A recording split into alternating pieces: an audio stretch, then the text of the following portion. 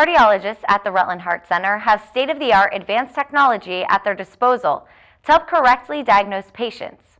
Today we're getting a look at a 24-hour Holter test and why it's ordered.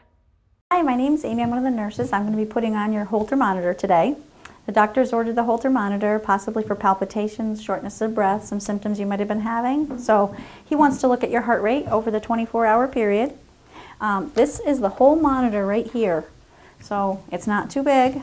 You're going to have this clipped to a pocket, and I'm going to put these five leads on your chest. Okay.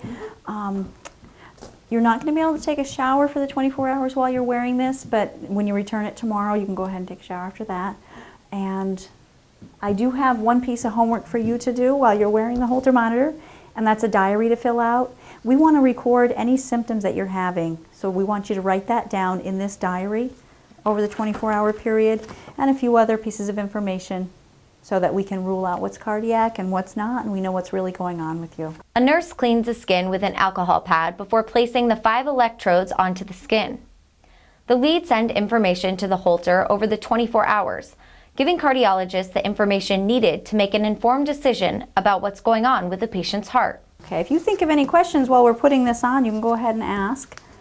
So does a doctor or my or, or Laura, who I've seen in the office, come in at all when this is going on? They're not going to come in while we're putting this on. You're going to go home. You're going to wear it for the 24 hours. When you bring it back tomorrow, you'll drop it off to the girls right at the front desk. And then you're going to be set up with a follow-up appointment after we get the results back. It does take a little while for us to get the results and transcribe them into a note. The Heart Center says if a patient has any questions while wearing the Holter, to call and ask to speak with a nurse.